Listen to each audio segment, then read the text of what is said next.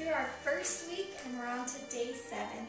For day seven, we're not going to work out because once a week you should always take some time to just recover and let your body rest by getting plenty of nutrients and drinking your protein shakes just to help your body recover and repair. But today for day seven, we're just going to do a cool down with nice, easy stretches. These stretches we're going to do, we're going to start standing up, and I like to loosen up just by moving side to side, loose. From here, I'm going to reach down with my left hand to my right leg, reaching my arms up, and you'll feel stretch all throughout your leg. You want to hold each stretch for at least 30 seconds. So I'm going to reach to the right and hold it for 30 seconds, and then switch, reaching my right arm over to the left, and hold that for 30 seconds as well. Getting a nice good stretch all throughout the legs. Next I'm going to move down to the floor with a lunge. I always point my tongue in the back so that my leg is flat, giving me an extra stretch, allowing your body to go deeper. You'll feel the stretch all throughout the front of your hips and your thighs. And you stretch down, hold that for 30 seconds and then bring your back leg up and hold this for 30 seconds as well. And switch to the left right through your, the back of your thighs. Bring your back foot up and stretch, holding that for 30 seconds as well.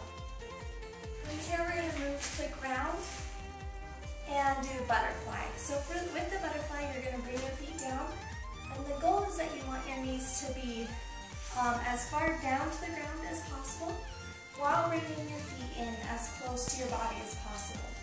As we do our workout, you're going to be working on strength and flexibility as well. So you'll get more and more flexible and this will become easier throughout time. You're going to hold this stretch for about 30 seconds and then cross your right leg over, cross the top of your body, and hug it towards you looking away.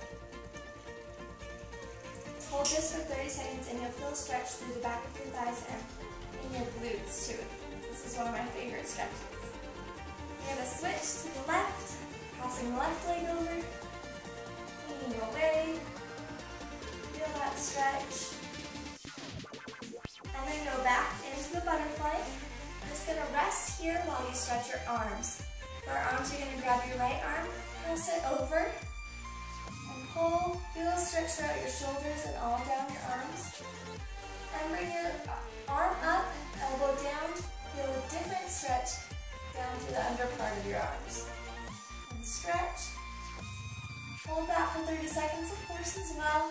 Switch arms to the left, holding, and then bring your arm up, stretching the out, outer part of your arm.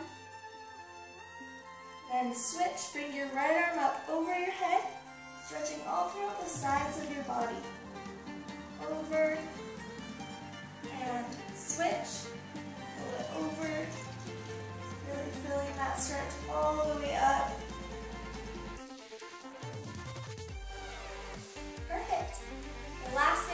to do with my day seven stretches is um, a yoga turn, and it's meditation. So you're gonna lay down flat, and you're going to elongate your body, and what you want to do is basically just picture all of your muscles relaxing from your head to your toes.